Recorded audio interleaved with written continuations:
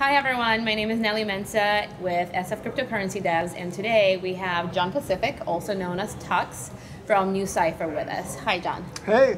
How's it going? Pretty well. Awesome. So you're here with us. You just gave an awesome talk on NuCypher. Can you tell us a little bit about this project and what it's all about? Sure. So NuCypher is a uh, way for us to build uh, decentralized applications mm-hmm. that also uh, securely share data. Uh, so for a quick example, uh, it's essentially you might encrypt something and put it on IPFS, right. but it's hard to share that data. Yep. So with NuCypher, you are able to encrypt it once and distribute it as many times as needed, mm-hmm. and grant and revoke access to that to that data as needed. Perfect. Uh, so in short, NuCypher is a privacy layer for the blockchain. Excellent. So in your talk, you uh, mentioned proxy re-encryption, and that's one of the core technologies uh, that's powering the new project. Can you tell us a little bit about what it is? Sure. So proxy re-encryption is a form of asymmetric cryptography, where I'm sure uh, it's a, I'm sure maybe we're not familiar with, with uh, public key encryption, uh, but essentially you, Alice, say you have two people, Alice and Bob, mm-hmm. and they have their public key and private key pairs, and Alice wants to share data for Bob. Alice can encrypt this data with her own public key right. And share it with Bob by generating a re-encryption key, yep. which re-encrypts the ciphertext encrypted by Alice's public key for Bob's public key, where Bob can decrypt it with his own private key. Yep. So it allows access to data encrypted by Alice's keys.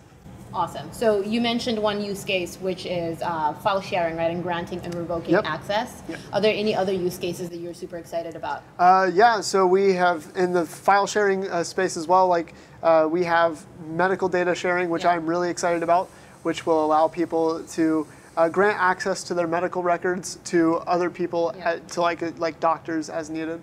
Um, IoT devices, which I, I am very excited for. So uh, we can have devices that uh, can encrypt data under all their own individual public keys, but mm-hmm. grant access to a single person. For example, uh, health data uh, devices, yeah. Uh, like heart monitors, uh, typically encrypt this data, and they don't really. Uh, they just, just give it off as as they want, really. Right. In this case, you would be able to encrypt it and once under their own keys, which yep. you might control, and then you can share that to a doctor or another specialist if you want uh, so there's a whole ton of applications. Essentially, we call our system like a key management system. Yeah. Um, so it's a key management system for blockchain apps, sort of like AWS KMS yeah. or Google Cloud KMS. And that's really powerful too. It's exceptionally powerful. Yeah. It's a very low level primitive exactly. for developers. But then there's so many applications for it, and I love the mm-hmm. IoT um, overlap as well yes. with it. So when is this project launching? What's your timeline? Uh, so we're hopefully we're in active development right now. Awesome. Um, we're hoping to have testnet up within a month or two now, uh, and by then we'll be able to give more information on how people can participate okay. and maybe run testnet nodes of their own. Very cool. I think that'd be really interesting to yep. our audience as well. Oh yeah. So switching gears a little bit, how did you even get into this space? Right, this is very cryptography sure. cryptography heavy. Um, and have you been a developer? Were you in, you know, in cryptography before, or how did you get started? So I was a software engineer at a company, like my first engineering job, yeah. and I had a coworker who was really into cryptography.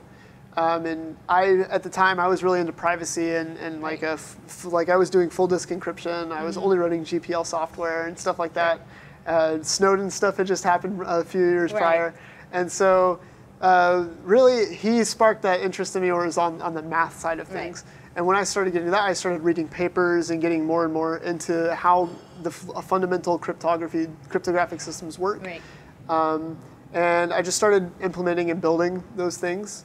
Um, and that's pretty much it. When uh, you know, I was been a follower of, of Bitcoin since 2010. Yeah. So it's been like a, it's been pretty interesting. Yeah. So you pretty much kind of taught yourself, right? yeah, it's a, it's a teach yourself. Yeah. It is a very much so a teach yourself thing. Many people go to college, but I dropped out. Uh, yeah. So it is. All a, the best ones do. so, any advice for folks who really want to get into crypto as a developer and maybe are not sure how to start? Uh, yeah. So read papers. Yeah. Read the papers. Uh, like the cryptography papers, right. not the papers, um, and implement the crypto systems, yeah. and uh, maybe un- try to understand the yeah. math and, and talk to other people and ask questions, and that's go to the conferences, totally. uh, things like that. That's pretty much the only way to do it. Is just getting getting into the nitty gritty of it and doing it. Get your it. hands dirty. Yep. Yeah, awesome. Thank you so much, John. Follow John on Twitter. You're known as. At underscore underscore tux. There we go. Thank you so much. Yeah, thank you.